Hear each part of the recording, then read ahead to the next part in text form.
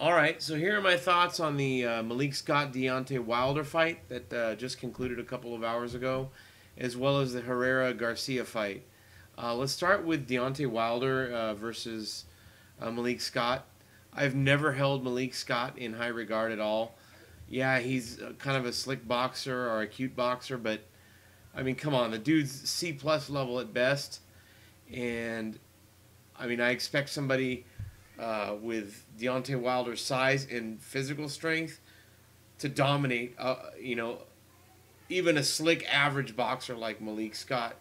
Uh, you know, who, who, the hell is Malik Scott beaten or what has he ever done? Uh, he's not a championship contender or even a fringe contender.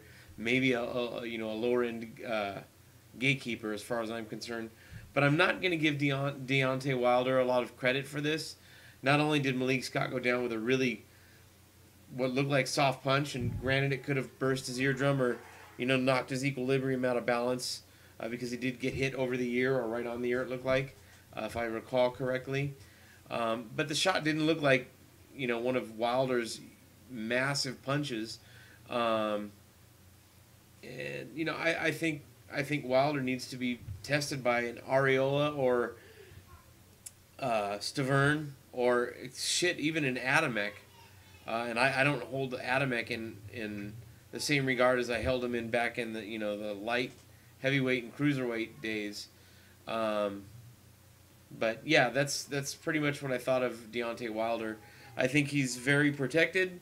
I think he they're padding his record and they're using these B minus C plus level fighters to make it look like he's doing something spectacular. And even one of the commentators tonight calling the fights said he was a special fighter. I mean, that's just complete and utter bullshit. Um, I don't know if that commentator has an agenda for the network for which they're employed by, or, or what the case, or he just saw something that I didn't see. But Deontay Wilder is one of those guys. I think the moment he steps up to B solid B level competition, uh, he's getting knocked out. And I don't care. Vladimir Klitschko could be 50 years old, and he would he would he would knock Deontay Wilder out cold. Um, so that's it on him. Uh, as far as the Danny Garcia, uh, Mauricio Herrera fight, um, what a joke, man. You know, er, boxing scoring is one of the big controversies. It always has been, but it's become more prominent in recent years, especially with the advent of Facebook and Twitter and blogs and podcasts and things like that, uh, or social media in general. Um, but the one the one judge gave the fight to Garcia. Uh, I think he had it eight to four. The draw was even questionable for me. I had Gar- Garcia losing by uh, three rounds.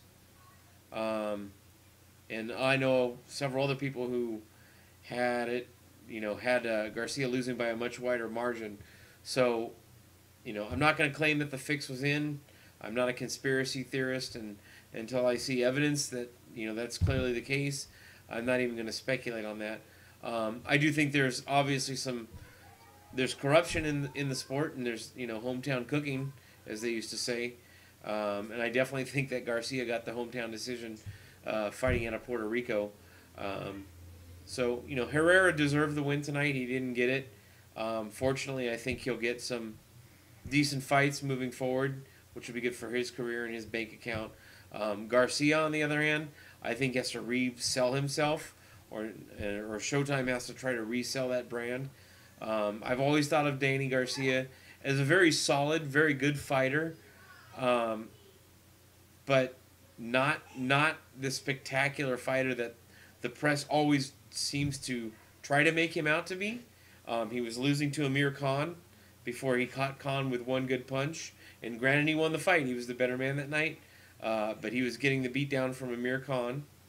Um, Lucas Matthysse fought really well against Garcia, um, and I thought he kind of bowed out of that fight after uh, his face got busted up and he you know sustained an injury. I don't think uh, Matthysse fought the same after that, uh, and that's not to take credit away from Garcia. He you know he fought he fought a little tentatively in the Matthysse fight, but I thought he looked all right. He, he fought smart. Um, you know, and in this fight tonight, Danny looked exceedingly average. I, I don't know if it's fair to say he, he was exposed as being very average. Um, but the really great fighters, you know, the Hearns, the Tysons, Uh, ish, hell, even the Klitschko's, guys like that, you know, uh, you know the Leonards, all those guys, the Haglers. They don't go 12 rounds with a journeyman and have to get a you know rely on a gift decision. Uh, they either close the show because they're so much more dominant, skill and power wise, uh, than somebody like Herrera would be, um, or, or they go 12 rounds and they you know it's a complete dominant beatdown. Uh, but Garcia didn't do that tonight, and uh, you know some are going to say, oh, it's weight drain. Some are going to say oh, overtraining.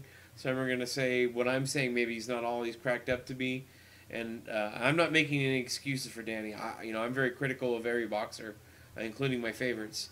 Um, and I really like Danny. He's an exciting fighter, and he's got some pop. But the Danny Garcia I saw fight tonight uh, isn't the same Garcia that I normally see fight. Now, how much of that can be attributed to Herrera taking the fight to him, or a style thing, I don't know. I tend to think that when people say, well, styles make fights, it's usually said in defense of a, of a fighter who's supposed to have been dominant or heavily favored and then performs poorly.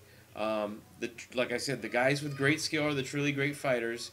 Get those kinds of, or the Herrera type of fighters out of there, or they dominate for 12 rounds and they get a stoppage. So that's pretty much all I have to say.